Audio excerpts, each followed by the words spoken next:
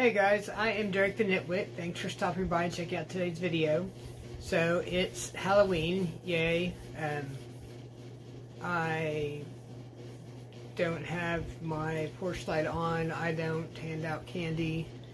Um, I don't even know if there are kids in this neighborhood.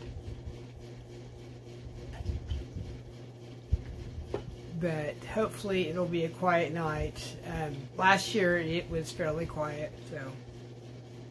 And then it's time change Sunday, so we get an extra hour to sleep in the morning. I know when I was younger, I used to do the springtime time change. If I had like the weekends off, like during school, you know, I would do it on Friday as soon as I got home from school, so that I would have the whole weekend to get used to it and then it wouldn't be that big of a deal for you know Sunday, Monday morning. Um, but the time change in the fall, I would save that until Monday morning so that I got that extra hour to sleep in on that last day. So, but now it doesn't matter to me really um, when it happens. I know that I need to set the time on my microwave tonight because it's it's still sitting on zero from when the power was out or on all zeros. But because um, all my phones will automatically do the time change in the morning and I will still sit there and wonder if they've done it or not. So I need something that's not a cell phone or tablet to um, be able to check to see what time it is.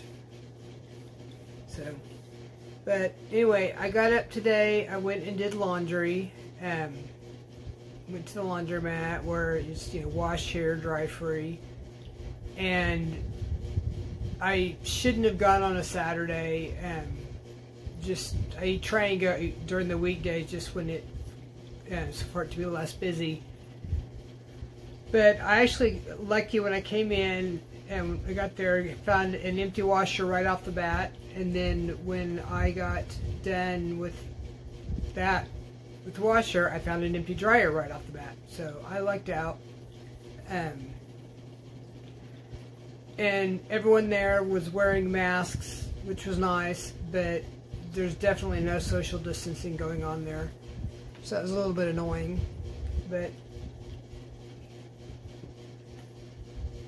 I made it through, and I had my clean clothes, and I shouldn't have to go again for quite a while.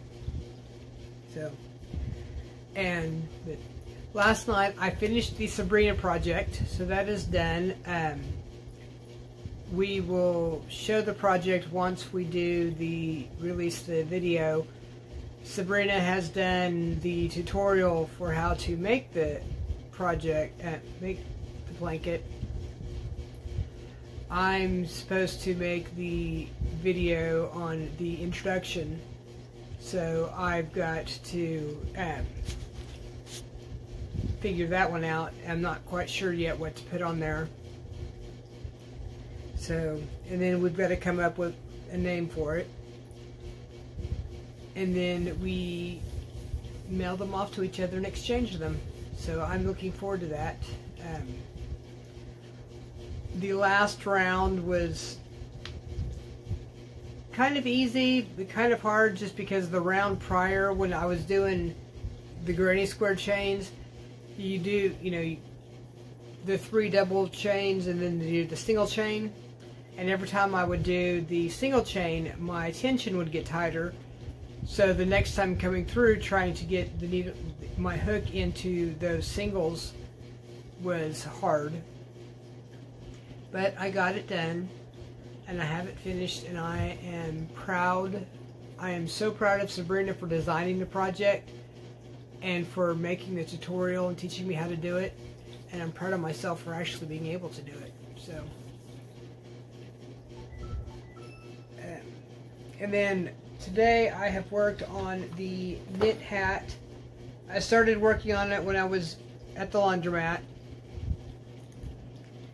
and then I worked on it um, a lot of this afternoon. I've got five inches done of the ribbing and I've got to go to six inches.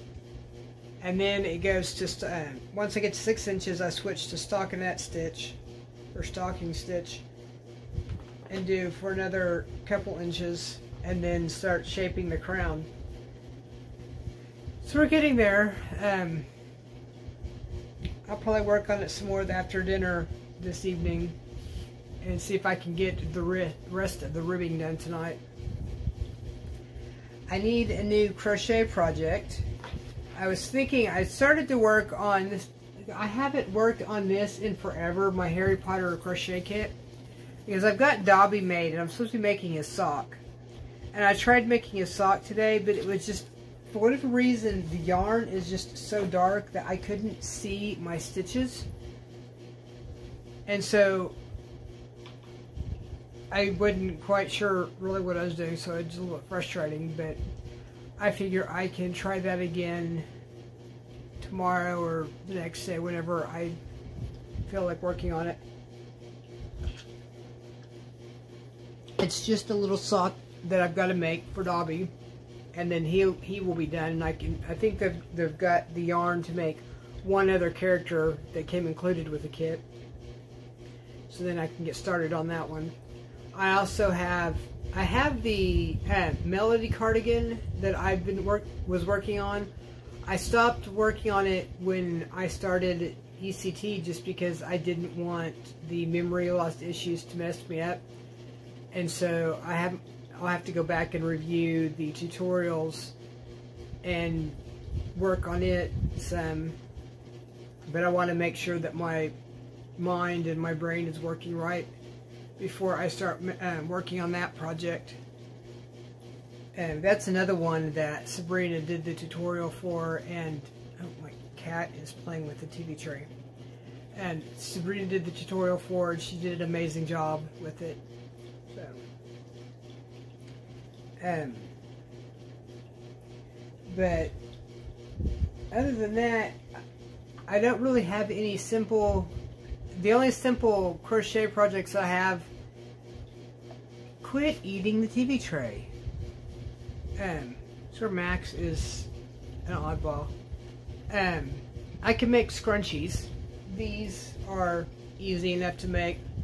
And I might make them if I, if I don't feel like knitting after dinner. I might end up making a crochet scrunchie.